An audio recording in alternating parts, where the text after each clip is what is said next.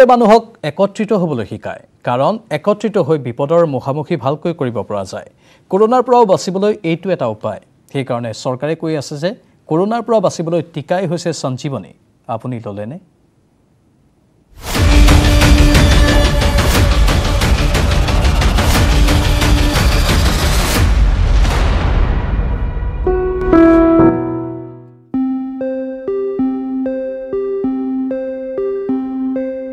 যলৈ ৰবি যাব পৰা নাই তালৈকে কবি গৈছে।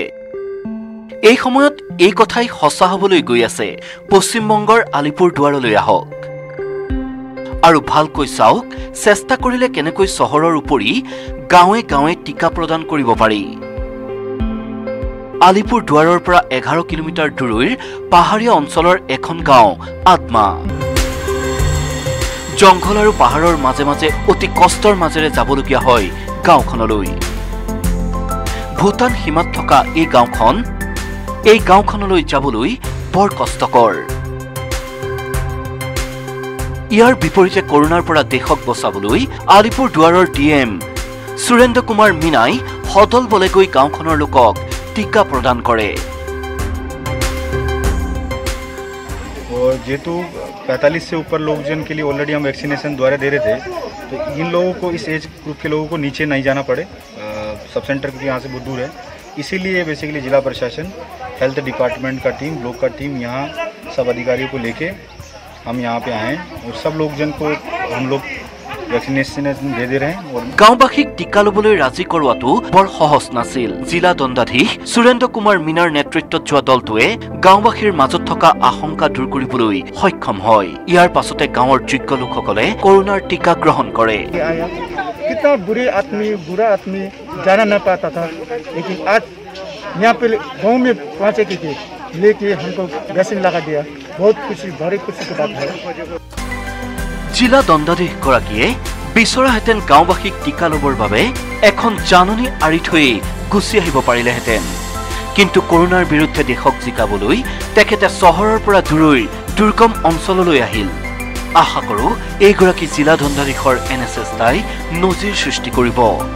আৰু কৰোণাৰ বিৰুদ্ধে যুঁজত সমগ্ৰ দেশ একত্ৰিত হৈ অতি সোনকালে টীকা গ্ৰহণ কৰিব। আলিপুৰ দুৱাৰৰ পৰা bureau' report news eighteen north east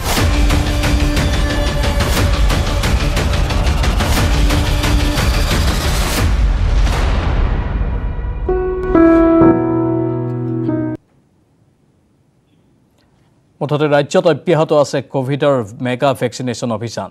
ৰাজ্যৰ সকলো উপযুক্ত লোককে ভেকচিন প্ৰদান কৰাৰ লক্ষ্যৰে আৰম্ভ কৰা হৈছে এই মেগা ভেকচিন অভিযান। একৈছ জুনৰ পৰা আৰম্ভ হোৱা মেগা ভেকচিনেশ্যন অভিযানৰ আজি তৃতীয় দিন। এই অভিযানৰ অধীনত দৈনিক ৰাজ্যত তিনি লাখ লোকক কৰোণাৰ ভেকচিন প্ৰদানৰ লক্ষ্য লৈছে চৰকাৰে। ইতিমধ্যে দুদিনত অভিলেখ সংখ্যক ছয় লক্ষাধিক লোকক কৰোণাৰ প্ৰতিষেধক প্ৰদান কৰিছে ৰাজ্য চৰকাৰে।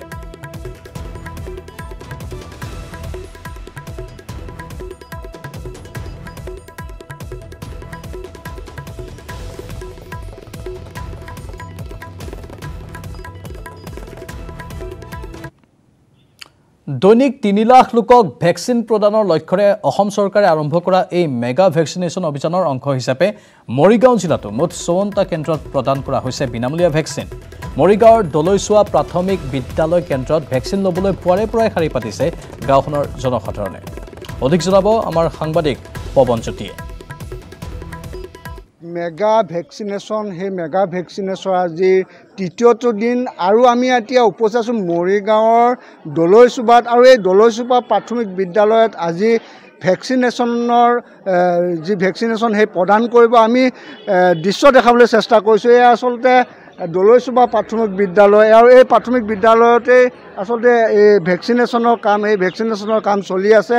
আমি যিসকল লোক ইয়াত আচলতে ভেকচিন ল'বলৈ আহিছে তেখেতসকলৰ ভিজুৱেল দেখাবলৈ চেষ্টা কৰিছোঁ। তেখেতসকলে আচলতে যিটো ছ'চিয়েল ডিষ্টেঞ্চ সেই ডিষ্টেঞ্চটো মানা আমাৰ পৰিলক্ষিত হোৱা নাই। কিয়নো এনেদৰে যদি তেখেতসকলে ভেকচিন ল'বলৈ আহে আচলতে ইয়াত ভেকচিন লোৱা নহয় ইয়াৰ পৰা আচলতে বীজাণু যে তেখেতৰ তেখেতসকলৰ গাত কঢ়িয়াই লৈ যাব এইটো খাটাং হৈ পৰিছে। কাৰণ কোনো ধৰণৰ ছ'চিয়েল ডিষ্টেঞ্চ ইয়াত আমি দেখা নাই। বাইদেউ আপোনাৰ লগত কথা পাতিম। বাহিৰত কিন্তু বিপদজনক দৃশ্য। আচলতে যিমান মানুহ যেনেকৈ মানুহ থাকিব লাগিছিল তেনেকৈ মানুহ থকা নাই। কি ক'ব? শাৰী পাতিব লাগিছিল তেনেকৈ কিন্তু শাৰী নাই কি ক'ব? ডিচিপ্লিন হৈ থকাটো ভাল আৰু। আজি কিমান মানুহক আপোনালোকে ভেকচিন আজি ডেৰশ দিম। ডেৰশ। হয়। কিমান মানুহ বাহিৰত আছে? বাহিৰত এতিয়া বহুতৰে আছে। আমি কৈ আছোঁ বা ডেৰশ বেজি আহিব বাকীখিনি মানে যাব লাগে আৰু। এতিয়া শুনা নাই যে।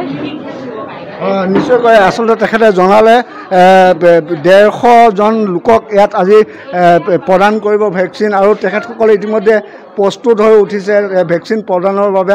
আৰু আনফালে যদি আমি চাওঁ এয়া আচলতে যি ৰেজিষ্ট্ৰেশ্যনৰ কাম সেই ৰেজিষ্ট্ৰেশ্যনৰ কাম তেখেতসকলে কৰিব আৰু যিসকল লোকে আচলতে ইয়াত ভেকচিন গ্ৰহণ কৰিব তেখেতসকলৰ নাম পঞ্জীয়ন কৰা হ'ব তাৰপিছতহে এজন এজনকৈ আচলতে ভেকচিন গ্ৰহণ কৰিব। আকৌ উল্লেখ কৰিছোঁ আজি যি মেগা ভেকচিনেশ্যনৰ তৃতীয়টো দিন তৃতীয়টো দিনতো আমি মৰিগাঁও জিলাত দেখা দেখিবলৈ পাইছোঁ। আচলতে বহু লোক আচলতে ভেকচিন গ্ৰহণ কৰিবলৈ আহিছে। ই এক শুভ লক্ষণ কিয়নো যি কৰোণা সেই কৰোণাৰ পৰা হাত সাৰিবলৈ হ'লে নিশ্চয়কৈ এই ভেকচিনেশ্যনৰ প্ৰয়োজন।